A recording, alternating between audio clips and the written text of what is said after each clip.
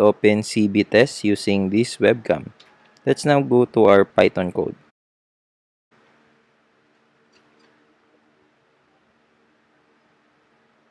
We need to import the necessary libraries. Of course, we need to add the NumPy and in the OpenCV, which is CV2.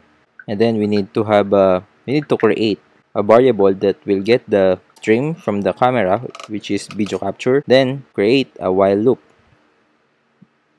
We will get each frame and then we will show it in a window called frame.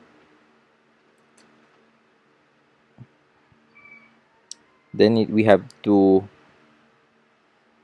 put an exit or a termination of the window by pressing Q on the keyboard.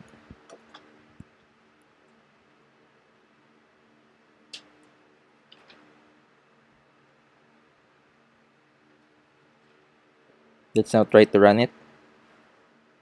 Let's save it as CV, CV2 test. Oops, we have an error on the frame. Hmm. Oh, an argument. Let's put the argument here, frame. Let's run it again. We now have the frame but no output. Hmm. Okay, we have an error here on the wait key. We need to make the K a capital letter. Okay, now let's run it here on our small setup and see what will be the result.